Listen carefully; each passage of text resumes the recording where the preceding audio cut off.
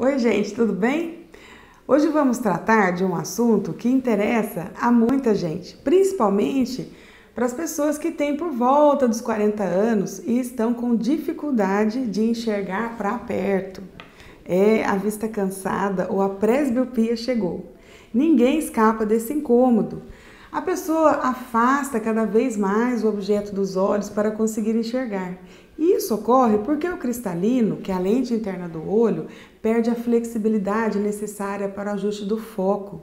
E é isso é decorrente mesmo da idade. Para quem tem miopia, ela chega um pouquinho mais tarde. Já para os que têm hipermetropia, começa mais cedo. Então, quando surgirem esses sintomas, a pessoa deve procurar o oftalmo para que ele verifique o grau e receite um óculos adequado. Atualmente, existe a cirurgia faco-refrativa como alternativa para corrigir de forma definitiva a presbiopia.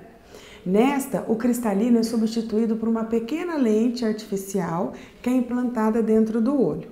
E essa lente corrige o grau, tanto para longe quanto para perto, possibilitando assim uma boa visão. Então, tá difícil de ler de perto ou manusear objetos pequenos? Procure o seu oftalmo e descubra melhor o tratamento para você, ok? Um grande abraço e até o próximo Minuto COI.